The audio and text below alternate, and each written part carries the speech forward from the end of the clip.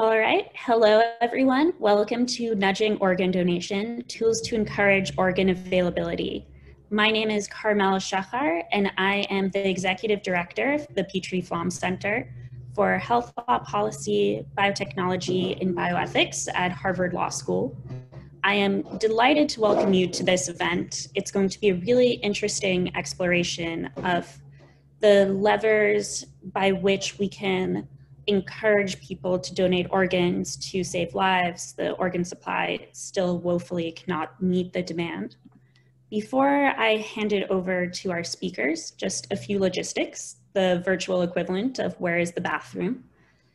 Towards the end of the event, we will have a moderated discussion where we invite you to submit questions.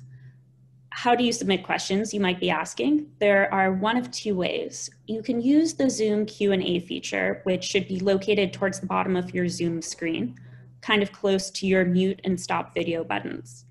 That will be monitored.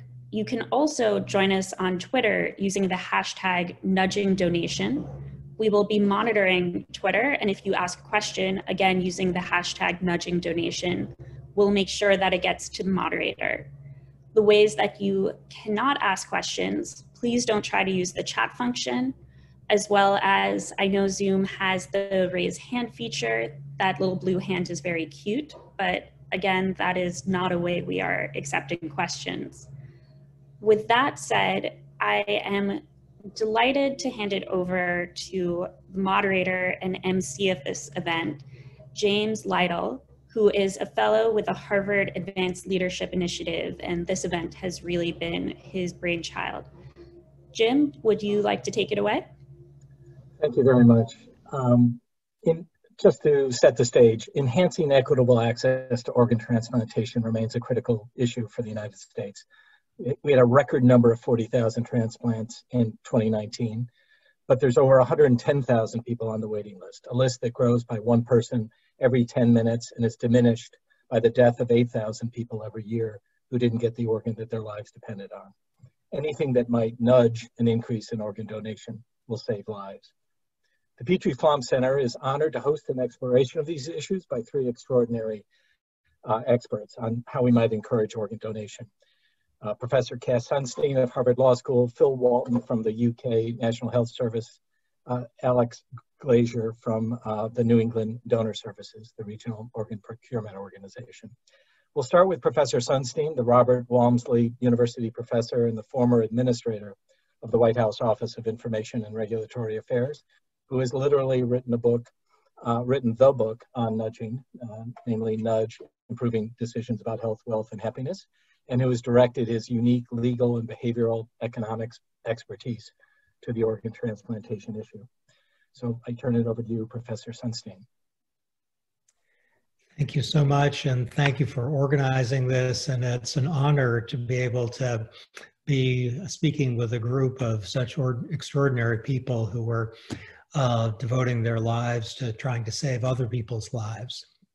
Um, the timing of this for me personally is uh, uh, extraordinarily good notwithstanding the fact that a lot of people haven't had sleep the last days. And that's because I've spent a great deal of the last five months with Dick Thaler redoing Nudge, doing Nudge 2.0.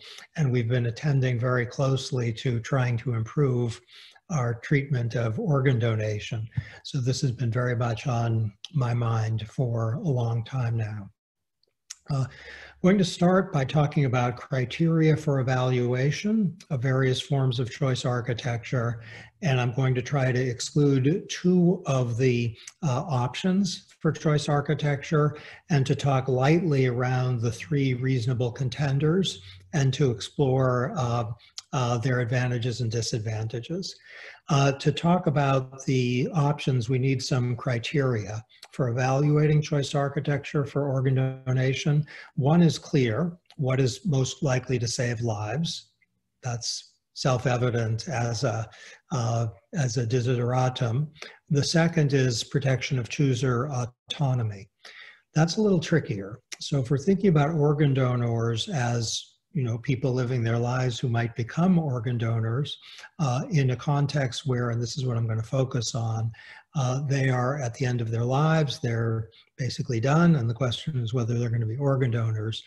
What does it mean to protect their autonomy? One way of protecting their autonomy might be that their organs will not be taken without their consent. That's one.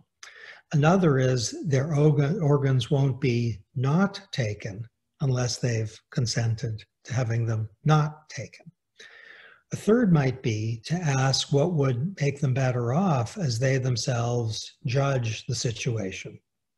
And a fourth, which is my preferred, is what form of choice architecture is consistent with what they would do if they actually were to make a choice, if they were informed, and if they didn't procrastinate. So the preferred conception of chooser autonomy is what would they do if they actually made a choice, if they were informed and they didn't procrastinate. That's a way to protect people's autonomy. Okay, notice if you would that the two goals, protecting chooser autonomy and saving lives, could be balanced in different ways. We might give decisive or overriding weight to one of the two, and many people would do that. Or we could hope to damage neither, or if we couldn't do that, we might hope to damage both minimally. What I'm going to try to do in exploring the five options is to the second, that is to try to find an approach that would damage most minimally, but I'm not going to be dogmatic about that. So if you have other criteria for choosing among the uh, the criteria for goals, uh, you can see how the analysis would go. Okay, now we're going to march through the five. The first would be routine removal which is not something, as I understand it, that's being vigorously argued for, but it's an interesting option where the idea would be that if people have no use for their organs, uh, they're they've they're they're done. Uh, the route would be that they'd be available for someone who does have uh, use for them. This might well save lives. Uh, it would be good to know how many uh, in terms of the life-saving criterion, it would get a gold star. It is a violation of chooser autonomy. On a scale of zero to 10, it gets zero. Even if 75% or higher of informed choosers making a choice would choose to be organ donors, there would be 25% or lower, a significant percentage of people whose will would be violated. That might not be prohibitive for some in a case in which we're talking about choosers who are conferring benefits on third parties. These are externalities, but note that these are positive externalities. It's not like you're asking people not to pollute, you're asking people instead to donate. And there's widespread moral objection in many countries, this seems to be the dominant view, uh, to violating chooser autonomy in that uh, uh, unmistakable sense which is to suggest that routine removal faces a public wall of disapproval. And as a practical matter, and legitimately, whether or not we take on board the difficult philosophical issues, legitimately that public wall of disapproval has uh, foundations. Okay, so let's put an X next to that one. The second is opt-in, which many uh, societies have, by which the choice architecture is to say, if people want to um, be organ donors, they have to say that that's what they want. In terms of saving lives, if that's unadorned, and I'll say a little bit more about what unadorned means, but let's just say nothing but opting in, uh, it is not good for saving lives. There'll probably be a very significant number of unnecessary deaths it looks like it's respectful of chooser autonomy in the sense that there will be no donations without affirmative consent. But in the preferred sense of autonomy, opt in actually is not nearly as good as it might seem. That is to say, that under an opt in regime, people will do something that is not be organ donors, which is not what they would want if they were to reflect and be informed and to make a choice. This isn't a criticism of our brothers and sisters in the human race. It's to say that people suffer from inattention and procrastination, which is to say they won't become organ donors not because on reflection they don't want to, but because they don't focus on it. And that's a violation of their autonomy. So if unadorned, the opt-in regimes are very bad on the saving lives scale and not very good on the chooser autonomy scale, which is to say that it gets bad grades on both. And I think we can put an X next to uh, opt-in uh, no less than, meaning with the same degree of clarity, that we can put an X next to routine removal. Okay, an approach which some countries have found congenial is an opt-out regime by which people are presumed to be organ donors. And there's a lot to be said in favor of this approach. And I want to say what might be said on behalf of it, and then raise some questions and puzzles. On the saving lives scale, in principle, opt-out should save lives maybe a lot. That's an empirical question on which more in a moment, but it seems to do pretty well, certainly compared to opt-in on that scale. On the chooser autonomy scale, it has the advantage of fully respecting freedom of choice, which is to say that if it just worked, it would be good because it would do extremely well on the saving lives scale and well enough on the chooser autonomy scale. But along both dimensions, it's actually less um, clearly a winner than I would like it to be, I confess. On the chooser autonomy scale, we can see from the re reaction in the Netherlands, which had a kind of very strong negative reaction to opt in, opt out, we could see a clue about public rebellion against people being organ donors by default. And the point here is no less powerful than in the case of opt-in. Many people under an opt-out regime will be organ donors not by virtue of a considered choice that that's what they want to be, but because of inattention and procrastination, the evil siblings of behavioral bias who are uh, ensuring that people aren't attending to an issue which were they to attend to it, they might in non-trivial numbers opt out, but they don't. Okay, those don't seem to be devastating problems so long as freedom of choice is preserved, but they are problems and they spill over onto the saving lives question. And here's some things I've learned over the last months. In nations that have uh, an opt-out regime, presumed consent as it's sometimes called, or deemed consent, the data is not as supportive of the proposition that presumed consent saves lives as might be anticipated. The data is very murky. And to get an entree into the, uh, the, the, the intuition, even under a presumed consent regime, typically the next of kin, the family, has a role in deciding what's going to happen.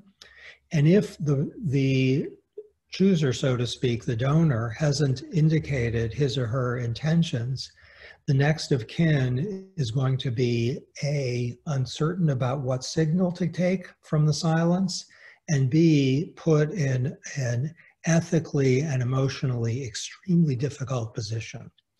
So let's add to the mix of chooser autonomy and saving lives, the family under very vulnerable circumstances is being put under opt-out, if it's nothing else is done, into a, a really hard position. Now, if the family doesn't have a role in deciding what happens, then opt out turns into routine removal, and nobody wants that. Okay, the evidence we've investigated is actually, on reflection, extremely unclear on the question whether opt out saves lives. It's very unclear. We've spent a great deal of time on this, and to defend the proposition that internationally more people live than die under opt out compared to opt in, it's hard. That's not to say that it's proven otherwise. The absence of evidence is not the evidence of absence, but we don't have good data demonstrating that opt out in the countries that have tried it are saving lives. As of an upshot, I think what we'd say is that of the three investigated so far, so far this gets a, a, a check mark combined with a question mark. It's better than the other two because in principle it should save lives. In terms of chooser autonomy, it's pretty good. It's at least as good as opt-in and there are reasons to think it's better, but it's not getting a standing ovation yet. Mandatory choice is the fourth of the five options. And at first glance, it seems best, at least, of the four so far. Better than routine removal, better than opt in, and better than opt out. The reason is it's a star performer in terms of chooser autonomy. It should be better than either opt out or opt in on that ground because people are making an active choice, which is to say, if they're becoming organ donors or not, it's a result of their explicit focus on the question. It's not a product of inadvertence or procrastination. The only thing that could be said with respect to chooser autonomy that cuts the other way, kind of, is what if people don't want to choose? They're, they're being forced to choose. And that is a kind of footnote, maybe a little worse than that, against the proposition that mandatory choice protects autonomy. But it's looking really good on that count. And on a reasonable hunch about how mandatory choice will work, it should do really well in terms of saving lives, potentially better than opt out for reasons that I hope should now be clear. The family's in a less bad position because there's clear indication of what the uh, chooser wants. And under the reasonable assumption that if really put to it, the vast majority of people will say yes, not necessarily true, but a reasonable empirical hunch, it will do pretty well in terms of making organs available. Okay, a challenge for the proposition that number four is the winner is some data from Nobel Prize winner Al Roth, formerly of Harvard, who finds that empirically changing from opt-in to mandatory cho choosing actually doesn't increase organ donation rates. It just doesn't. And it might have a negative effect on the donation decisions of the next of kin. Now, this is just one study, not clear what to make of it. It does support the following proposition that mandatory choice also gets a check mark. It's a very reasonable contender. It's superb in terms of chooser autonomy. It's probably better in terms of respect for families, their emotions, and their um, uh, burdens. But in terms of saving lives, it might actually be uh, uh, be no better than uh, opt-in. At least Roth's data is suggestive of that. Okay, our fifth on the list is prompted choice. And uh, Thaler and I, with fear and trembling and without, you know, um, uh, tremendous confidence, but at least on my part, I shouldn't speak for him, without tremendous confidence, but with a degree of conviction, we think prompted choice is best. It's going to be adorned. So prompted choice is best because it's fully respectful of chooser autonomy. Prompted choice isn't mandatory choice. If people don't choose, nothing terrible happens. They can't, uh, they're not going to be stopped from completing a driver's license form, but they're going to be prompted to choose. The idea is that's as respectful of chooser autonomy as anything we've got. It actually respects choosers who choose not to choose. We don't think they're likely to choose not to choose if they're prompted enough. It should save lives. It's gentler.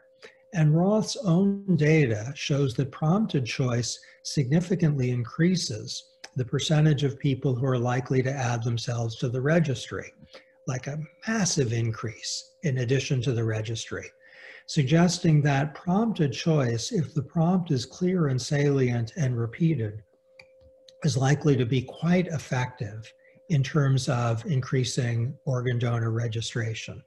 The same study shows providing information about organ donation under prompted choice increases registration rates.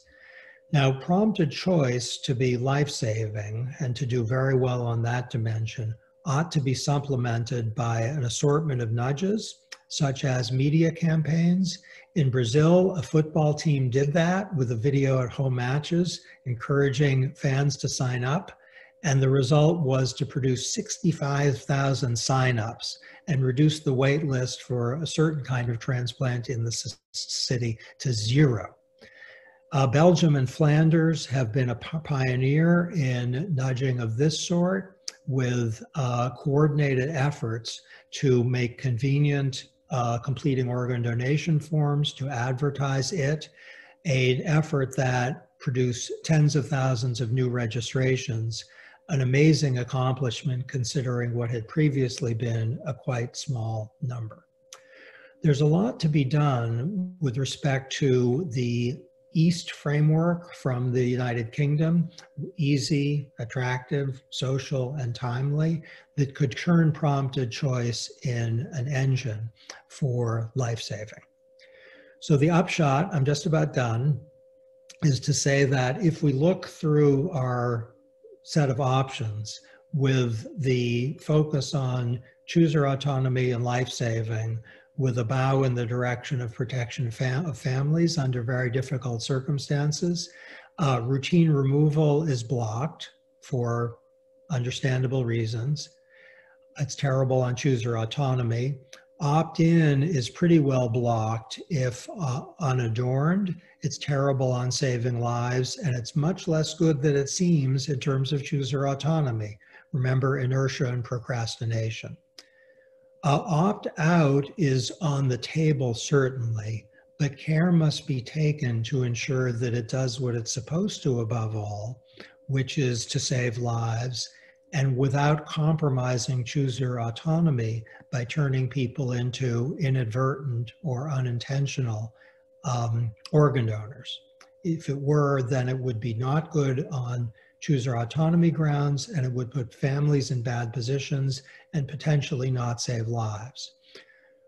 Mandatory choice also gets a check mark. It's very good on chooser autonomy. It's a big winner, Olympic gold or silver there. And in terms of saving lives, it should in principle work well. Such data as we have suggests uh, question marks.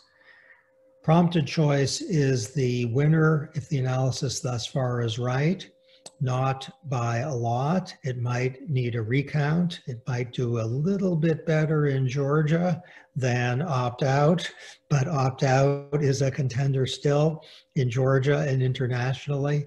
If prompted choice is the winner, it's because it has um, a, a real triumph, a triumph in terms of chooser autonomy.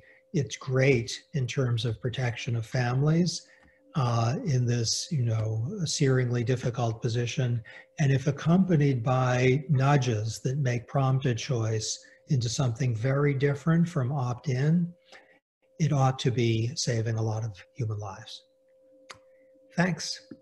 Thank you very much. A great way to set the table on this. Uh, I, I, shared with the professor that I'm auditing his course uh, this year. His his co-teacher and spouse, Ambassador Samantha Power, suggested that Nudge should officially be his middle name. Um, so from now on, it should be Cass N. Sunstein. Uh, but I, I, really very much appreciate you setting the table. And now we're going to turn to a couple of folks who are in the process of trying to navigate this architecture um, and who have different views on, on the various, the menu that you've presented to us. Um, and, and first we're going to turn to Phil Walton, who's from the uh, National Health Service Blood and Transplant Division in the UK, who's been responsible for implementing uh, the deemed consent law in the United Kingdom. And let me just turn it over to you, Phil, to uh, share with all of us uh, what you've been up to uh, in both Wales and in England recently with respect to uh, addressing the decision-making process for organ donation. Thanks.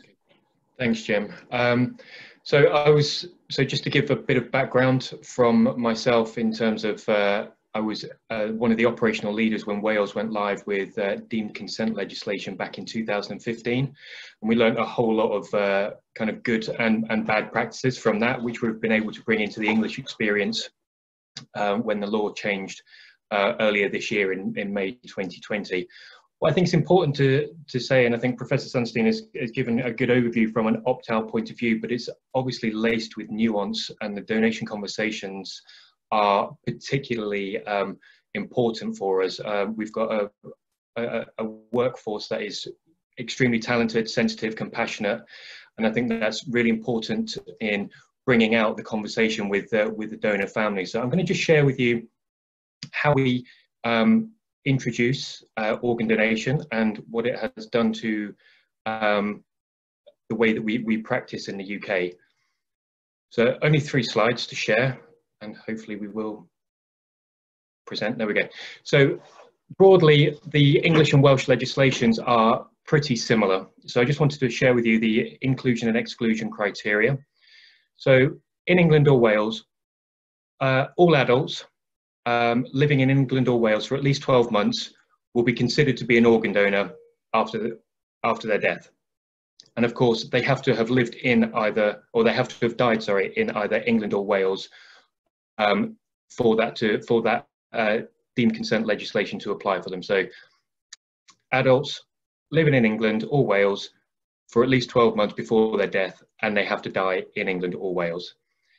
The legislation does not apply to, and this is really important in respect of safeguards, um, making sure that the family is center, central to the donation conversations, um, is that donation, uh, the deemed consent legislation doesn't apply to under 18s.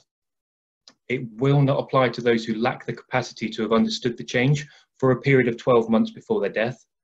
And anybody that's a transient uh, resident of either England or Wales, so students or people here on holiday or anything like that, they can't have their consent deemed. They have to be here ordinarily and voluntarily for at least 12 months. And finally, and I think this is this is one of the things that's uh, missed sometimes in the way that the legislation is uh, is discussed, is that you cannot have your consent deemed if you've made a donation decision, either to opt in or to opt out. So how this works in practice is we've there's four very easy steps here. So um, We've got step one, which is all about kind of the referral to the organ donation services team. It's an approach to the family with a specialist nurse or specialist requester. So SNOD is specialist nurse organ donation. So um, just so you're orientated to what that means, or SR is specialist requester. From here, we'll move into step two, where the, spe uh, the specialist nurse will establish whether there is an express decision. So an express decision is not mandated how that takes place. So you can opt in on the organ donor register or opt out on the organ donor register, but you can also express verbally to your family one way or the other, and that carries the same legal weight. And that is primary, uh, the primary thing that the specialist nurses will be undertaking with the initial uh, steps in the donation conversation with the family is if their loved one had ever expressed a decision that they wanted to donate if there is if there is an acknowledgement that there has never been a discussion about organ donation, they never knew what they would have wanted, then we'll move into as trying to establish whether consent can be deemed. So that will mean um, uh, let me just try and think what I was trying to say there. So um, can consent be deemed is um, do the exclusion criteria apply? So are they over 18? Did they have mental capacity and are they ordinarily resident?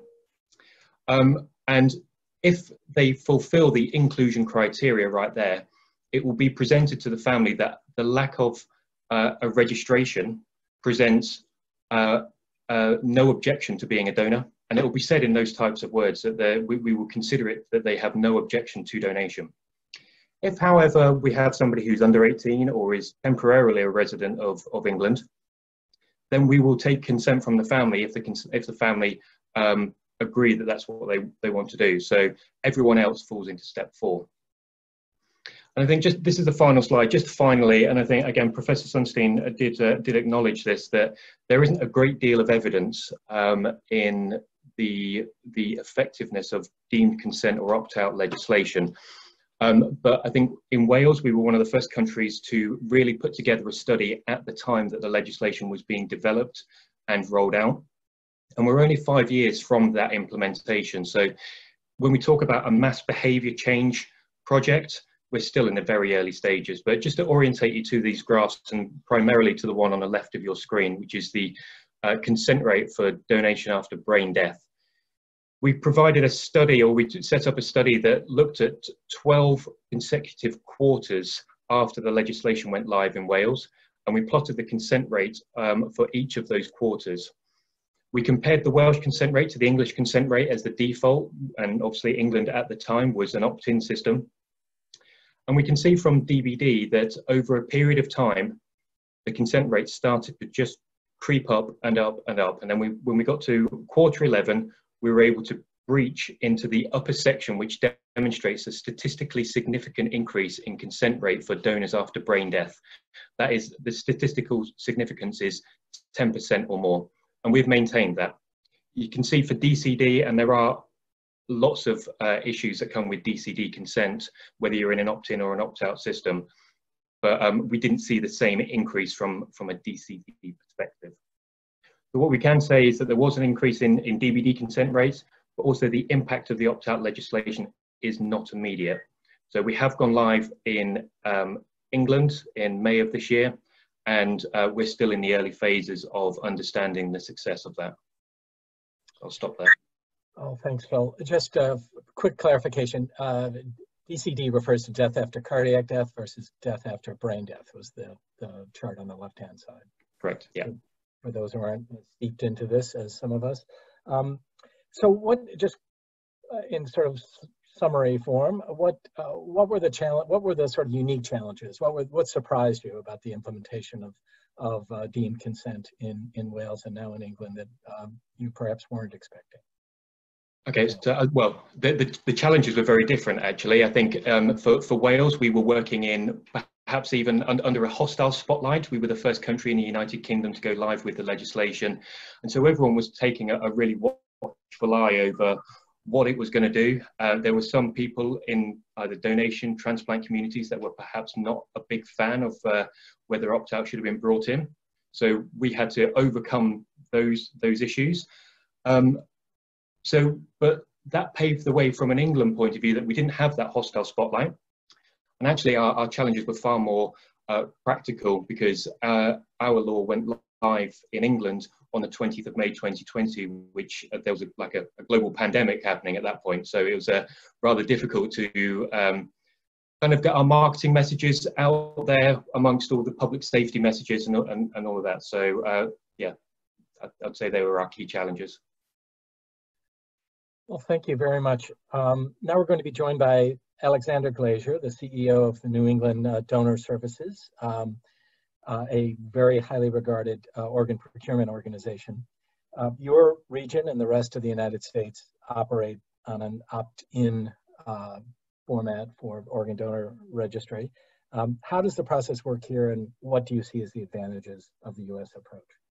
Right, great. Thank you for having me. Um, I'm here to give a little bit of the boots on the ground um, experience for how organ donation does operate within the US. And I would say that we have an opt in system, but per Professor Sunstein, it's really adorned that it is close to a prompted choice, or in some circumstances, really could be regarded as, as prompted choice.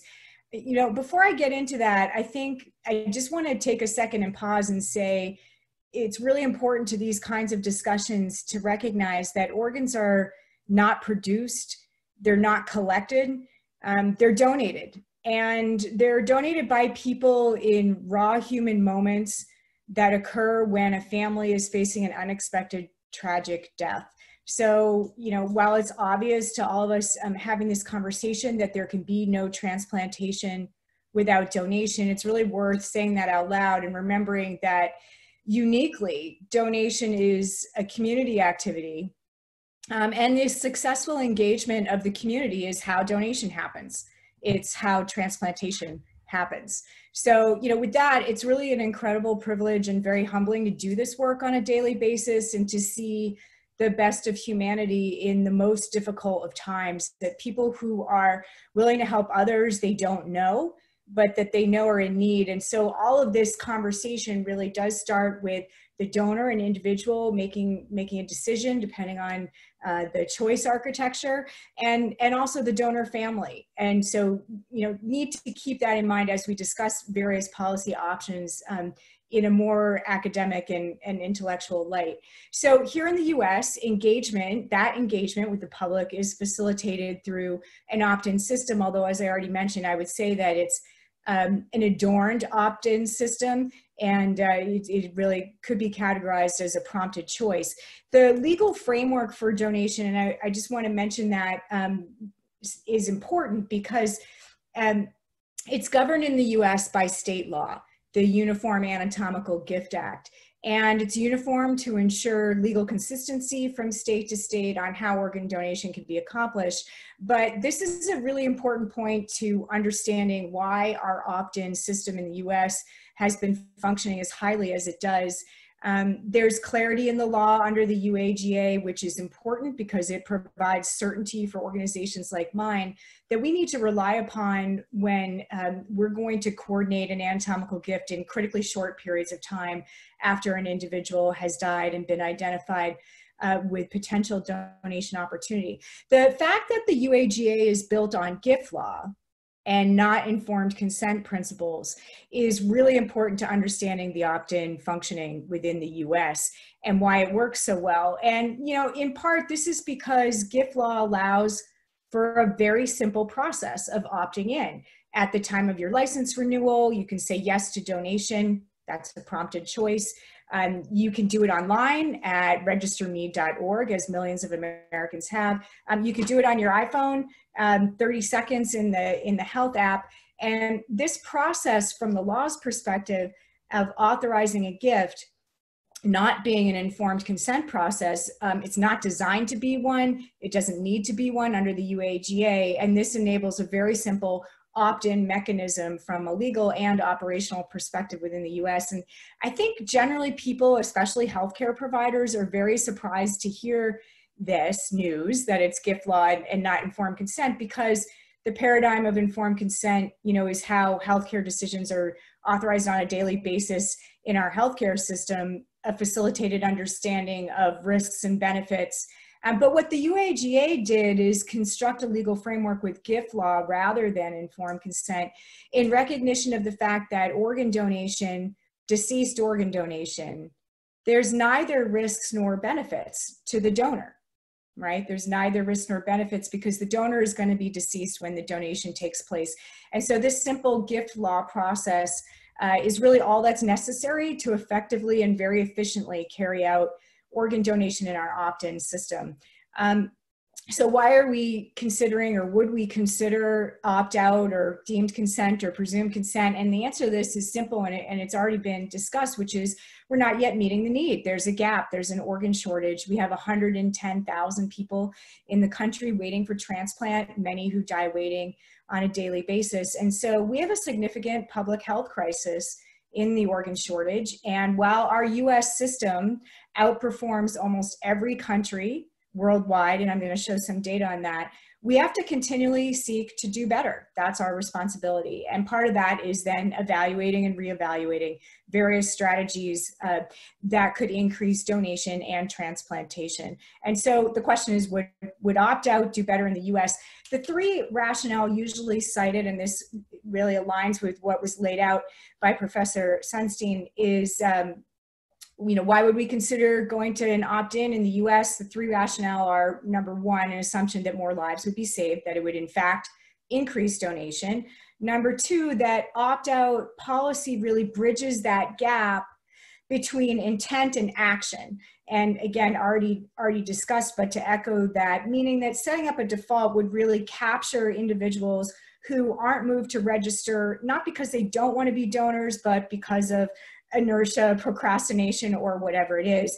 And then the third rationale, also uh, addressed in a different way, but um, similar concept that can be cited for going to an opt-out within the US is that it, there's a signaling effect that this normalizes organ donation in a way that would be overall beneficial to the consent rates. So I want to quickly just share some data to show um, each of those three rationales and, and how we've evaluated that and ultimately come to the conclusion that it would not in fact increase donation in the US and could very well decrease it. So what you're looking at here um, is uh, 10 different countries and they're color coded, orange being opt out, blue being opt in.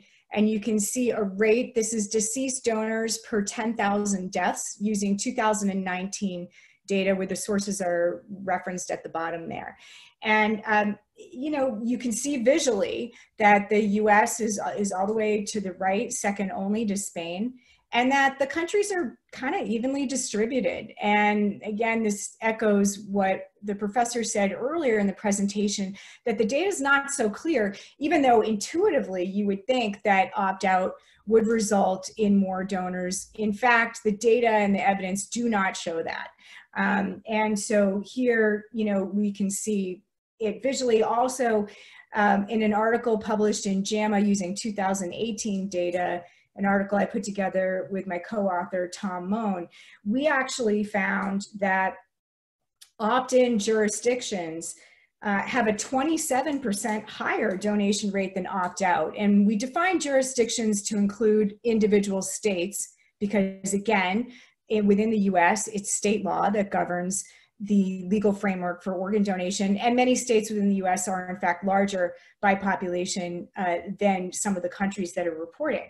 So, you know, this really brings me then, if it's not necessarily going to increase the donation rate, seeing where the US has already achieved in its adorned prompted choice opt-in, then the question is, you know, will it bridge that gap or intent? And so just a, a quick um, overview of um, what the system looks like. You can see here that the choice architecture that we have has two opportunities. One, an individual can authorize themselves through the donor registry, and there's 170 million 170 million registered donors in the US today. That's about 55% of the adult population. So this has been, a, again, a very effective and efficient way for individuals to, to make that selection.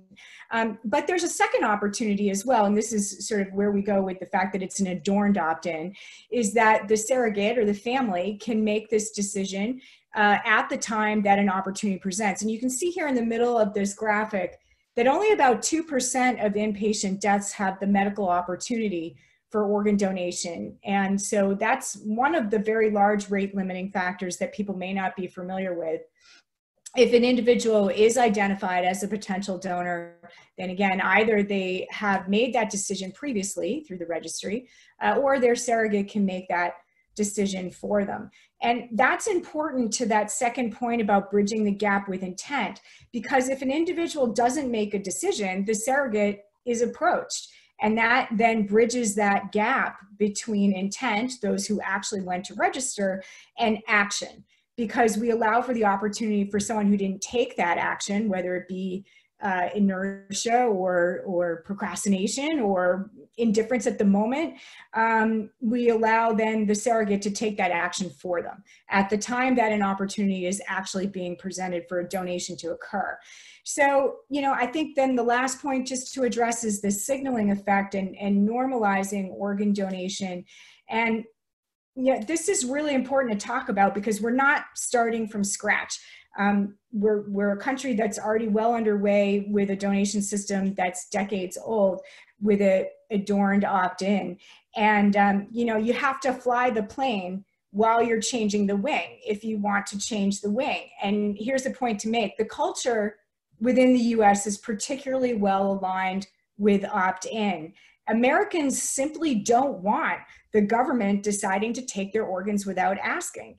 And, you know, we're a country that's founded on autonomy principles and we really prioritize individual rights. Um, and that aligns well with our opt-in system. I, I, think I can give, you know, no better example than this. If you think about what's happened in the US, um, with the government suggesting that individuals wear masks not only for the benefit of others, but actually also for their own health and well-being. And that has not been, as we know, particularly well received.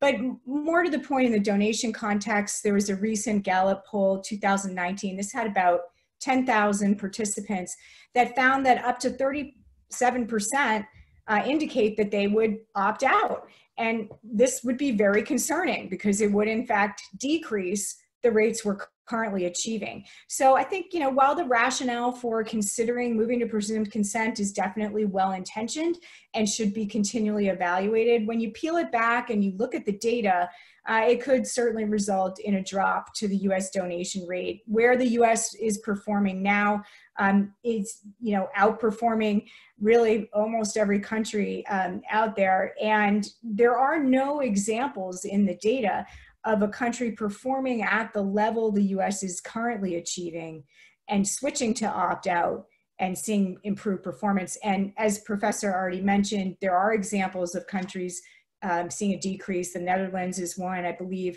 about 31% of uh, the population opted out when this switch happened. So, you know, with a culture that is deeply steeped in individual rights with the many laws and societal norms that we have prioritizing individual autonomy, um, we're really well suited, I think, for our adorned, prompted choice architecture that we have for organ donation. And um, I think, you know, when you talk to Spain, which is the opt out country that outperforms the US, they say and have published, the leadership has published on this topic, that they don't believe their opt out policies are responsible for the success because they ask for family permission in all instances. And so, what Spain attributes its success to is strategies that focus on well funded systems that um, are supported with excellent hospital engagement and operational components that are really what's needed to make organ donation successful. And, and that resonates with me as an executive running an OPO here in the region. Um, those kinds of strategies have grown organ donation very significantly in our region and, and nationally. And this is my last slide, which is that, um, you know, since 2012, there's been a 46% increase in organ donation in the US. And this is fantastic. But you know, we also recognize that the urgency is there, that more still needs to be done. Um, this isn't a system that's broken, but it's one that we want to continually to optimize.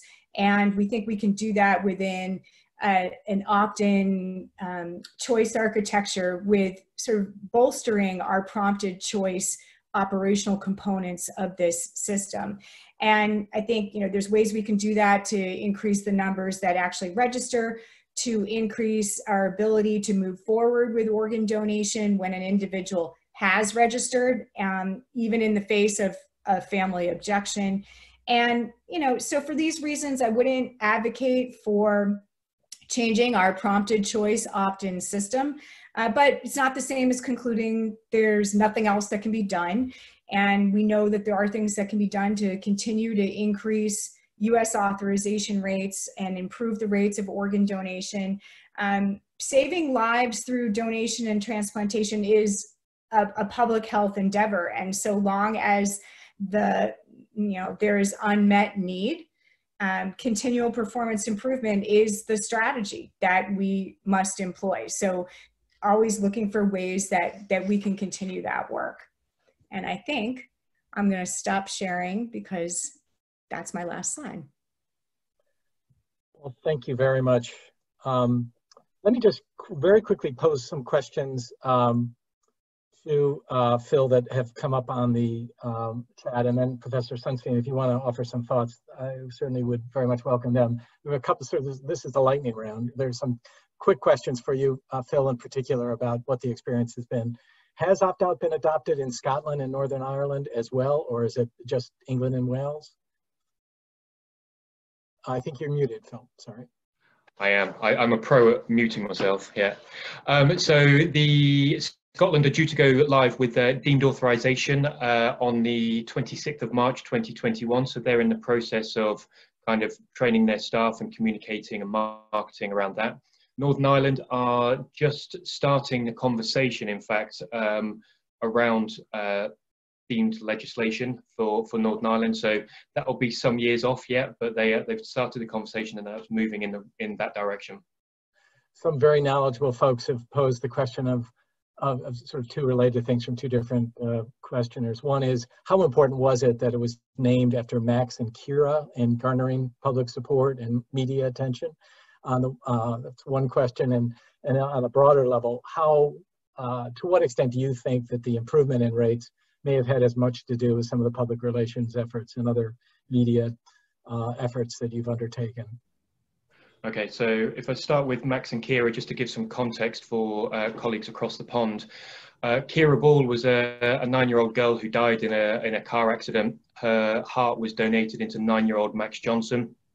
Um, Max became the face of a public campaign by one of our national newspapers, and um, the story really gained traction. They, his his uh, his health was deteriorating before uh, before a heart became available, and he him and his family have done just some some amazing stuff around promotions. And i think what we see with all marketing campaigns is that real stories mean something and you put yourself in those situations. So uh, max and keira were were you know enormously valuable to, to the to the uh, to the the journey that we went on for england how successful or how much do we attribute opt-out legislation to some of the successes i think what opt-out legislation is not a panacea to all of this. It's not the golden bullet. I think it comes as part of the jigsaw puzzle that supports um, organ donation in general. So without the legislation, we wouldn't have had a marketing budget. We wouldn't have had the opportunities to bring people to the table from clinical sides to faith and belief groups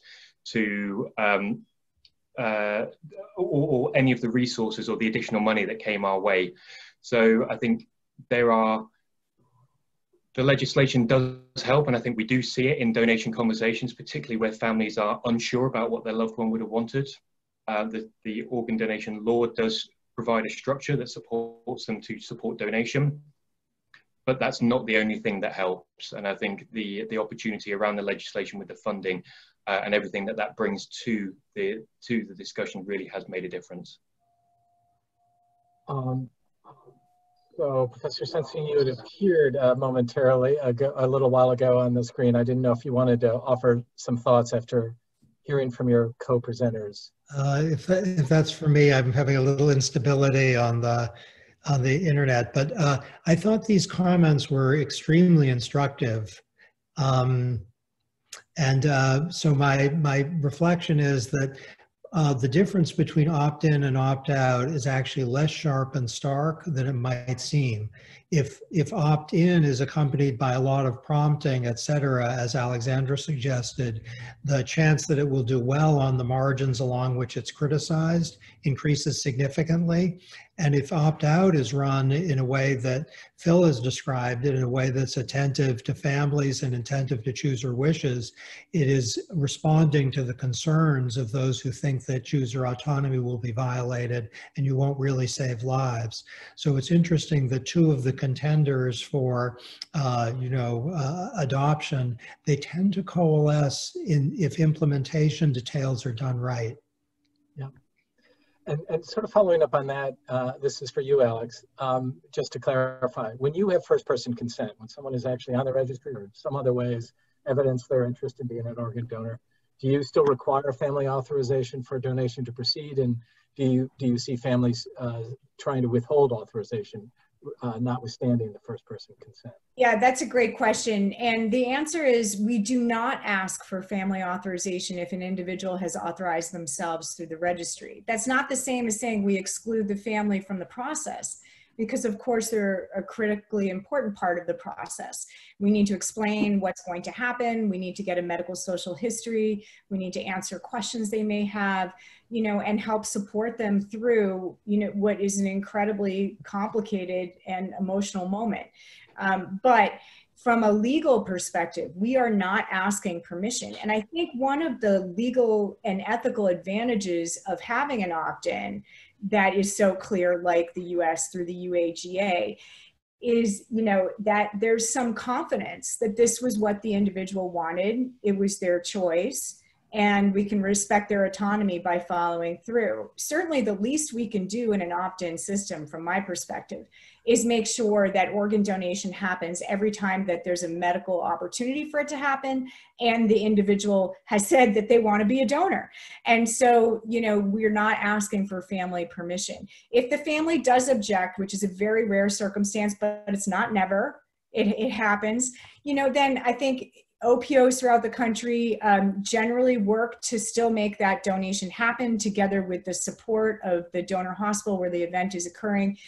Of course, I'm going to give a lawyer answer, which is it depends, um, you know, in terms of whether the case can move forward, but it, but it almost always does. And what would it depend on? Well, we want to make sure that the donor registration was valid, for example.